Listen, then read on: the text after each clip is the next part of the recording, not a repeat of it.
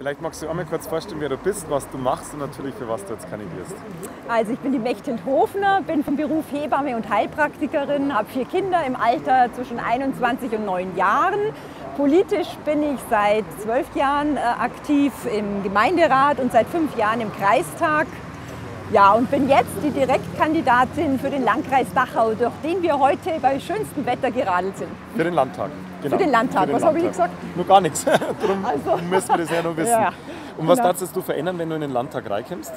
Also ich werbe bei den äh, Bürgern des Landkreises für eine ehrliche Politik, dass einfach wirklich endlich mal die Entflechtung passiert zwischen Wirtschaft, Bankenkonzernen und Politik, weil momentan geschieht ja das hauptsächlich im Interesse der Wirtschafts- und Bankenkonzerne, weil ja da auch die Verflechtung ist mit, dem, äh, äh, Firmen, äh, mit den Konzernspenden und natürlich in eigener Sache auch. Ich bin ja, wie gesagt, Mama von vier Kindern. Ich stehe äh, für die Wahlfreiheit der Mütter in Erziehungssachen und ich möchte auf jeden Fall das sogenannte Erziehungsgehalt einführen, damit die Frauen, die Mütter oder Väter von heute einfach echte Wahlfreiheit haben, wie sie ihre Kinder erziehen möchten. Daheim oder eben Krippe oder Tagesmutter und so weiter.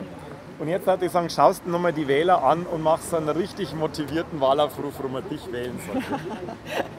Lieber Bürger vom Landkreis Dachau, geben Sie der ehrlichen Politik eine Chance. Die Zeit ist reif. Bitte schenken Sie der ÖDP eine Stimme. Wir setzen uns für Sie ein im Landtag, für eine gute Zukunft für Bayern.